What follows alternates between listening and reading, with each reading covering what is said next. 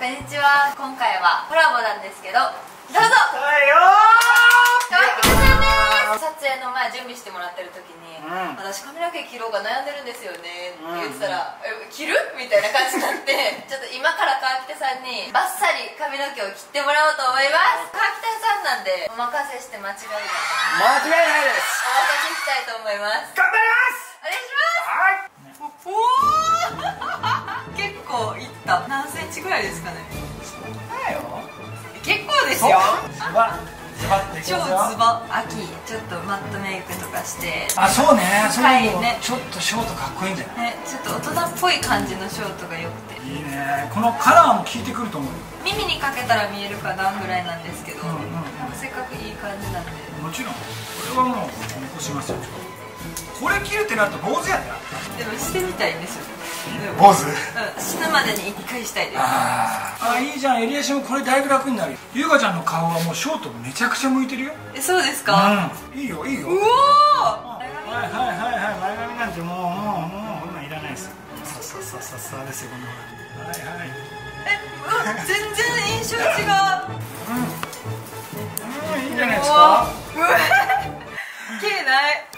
バッサリ切ってくれる人初めて見た。これぐらいとか言ってねね。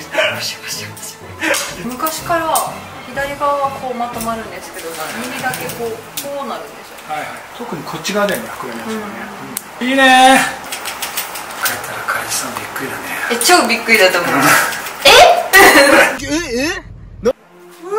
す ごい来ためっちゃ切ったあすげえな頭の形いいなあいけるいけるこっちの癖だいぶ楽もうこうやってこうやって手でこうやって入れるだけで。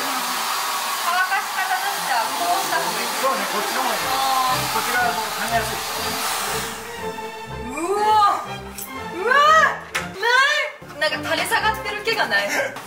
もないし確かに私膨らみがすごかったんで。癖をめちゃくちゃ調整するちょっと地味なカットしてる癖がね。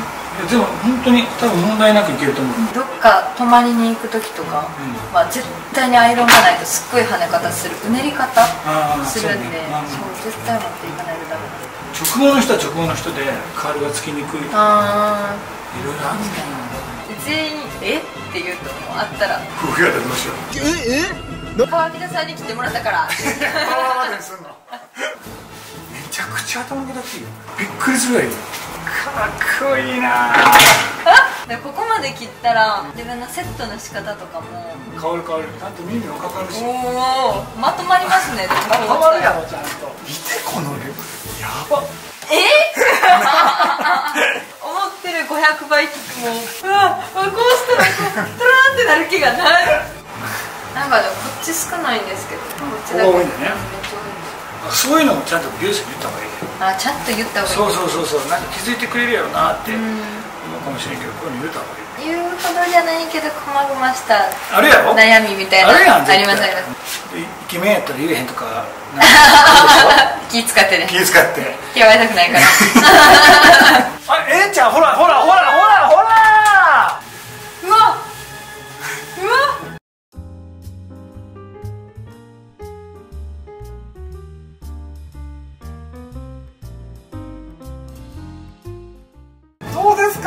大大大イメチェン。ここは綺麗に見えますなんか。でしょ？ゆうかちゃんこの顎のラインめちゃくちゃ綺麗なの。よいい感じ。多分私今日切らなかったら多分一生切らなかった。えー、ありがとうございます。ありがとうございます。ということで川北さんに突然即興でバッサリ髪を切っていただきました。ありがとうございます。ありがとうございますチャンネルでこの私もまだこの髪の毛をバッサリ切って、どうメイクしたらいいかとかがまだ分かんないんでちょっと教えてもらおうと思うので川北さんのチャンネルもチェックしてみてください。お願いします。ありがとうございました。えよくないですか？